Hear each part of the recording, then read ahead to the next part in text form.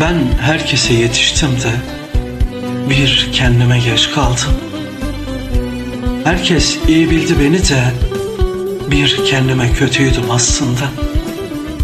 Hep başkalarını dinlemekten bir kendimi duyamadım. Dost biriktirdim belki kendimi unuttum.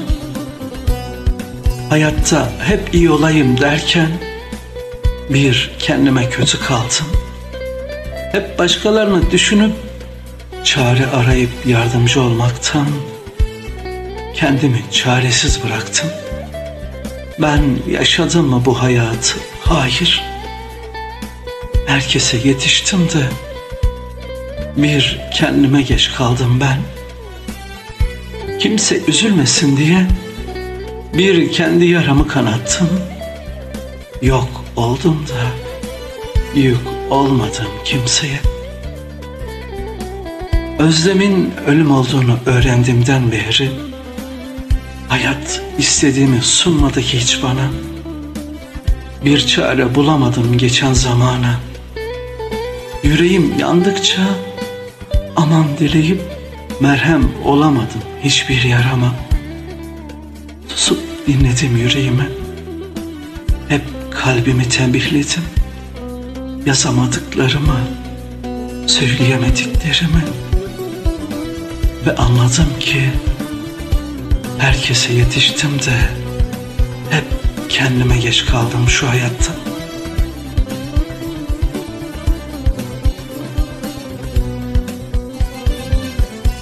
Birinin derdi oldu yetiştim. Biri ağladı koştum, düşeni kaldırdım.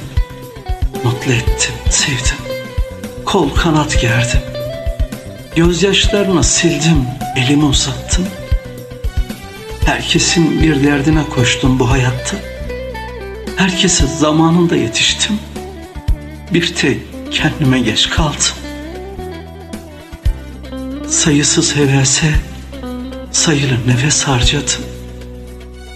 Herkese yetiştim, kendime geç kaldım. Taşıyamam zannettiklerimi taşıdım da Taşırım zannettiklerimin altında kaldım. Kimin ahını aldım bilmiyorum. Hangi yüreğe yurdum dediysem o göçün altında da kaldım.